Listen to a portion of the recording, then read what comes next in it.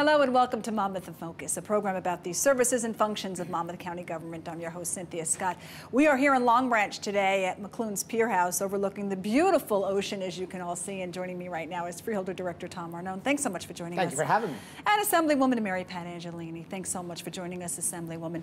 Your District 11, you know, represents the heart of Monmouth County. So many towns devastated by Superstorm Sandy, Assemblywoman. How are you doing today? Well, you know, we're, we're doing. Mm -hmm. um, it's certainly a slow recovery, but uh, Long Branch in particular and Asbury Park, Ocean Grove, we really were um, hit hard.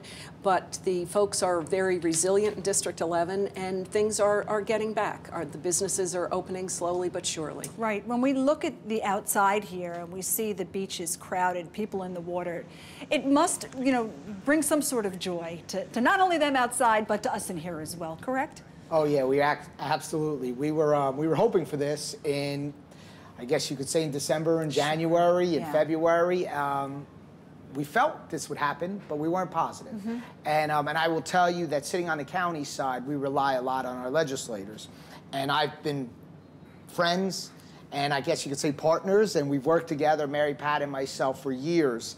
Um, when she was in my district, or you're still in my district there in, in Neptune City, I'm sorry, but and we continue to work together and she is um, a big support level to the county and to her district a big time supporter. And how does the state and the county work so well together during Superstorm Sandy or, you know, a nor'easter that we know is about to come. Right. Well, the number one thing is just really communicating with each mm -hmm. other. And certainly to have such great partners such as um, the Sheriff's Department, Sheriff Shaun Golden, as well as the freeholders. And I was in touch either texting or calling uh, Tom and, and Shaun throughout the storm. Sure. And uh, really the communication is very important. Whenever we find out about a state-run program, we make sure that the county has all the information so that we can disseminate it to the, the people that live in our district. Mm -hmm. The state launched an aggressive campaign this summer regarding tourism. Your thoughts about that? I mean, I would imagine that well, it's great. It was fabulous. And, and we were fortunate that we have a great tourism department head by Jeannie DeYoung, and she partnered with the state, and we were able to pass on the information, as Mary Pat said, when it comes out of Trenton, and they know firsthand to have that partners to bring it over to the county and for us to facilitate it through our Monmouth County municipalities, that's the only way it's going to work. And again, that just shows the sign of partnerships. As I said before, the partnerships with the municipalities is very important, but as important is the partnerships with the state of New Jersey. Sure. I, I think we're all uh, humming stronger than the storm these days, and so I think that yeah, shows that, you know, it's, it's worked. Um, you know, we talk about businesses, and uh, it's obvious that the state can support the local businesses, correct? Yes. But, you know, what about people that have endured hardships? I mean, they, you know, it's, it's been rough going for a lot of those people. What's the help the state can offer? Right, absolutely. Um, we really learned some great lessons from Katrina, and we know that people are obviously going through a lot of stress as they rebuild their homes. Many people are still displaced. Mm -hmm. um, I have a meeting later this afternoon. It's called the Long-Term Recovery Committee. Mm -hmm. We are in this for the long haul. If anyone is having any type of stress issues, they can go to a great website. It's called nj211.org. And there's all kinds of information. It's a portal for um, anything related to human services, if there's any housing issues. And um, the point is that there is help out there. Mm -hmm. The state has also created a program called the Hope and Healing Program, and that is specifically for um, people that have been affected by the storm that need that need to talk to someone. There's help out there. It's free and it's available. Mm -hmm. Absolutely. Yes, and the county also has that, um, and and we're able to again have the information from our state and our Human Service Department, and as liaison John Curley, uh, Freeholder Curley is is the head of. Um, they're very aggressive in trying to give assistance, and I commend them.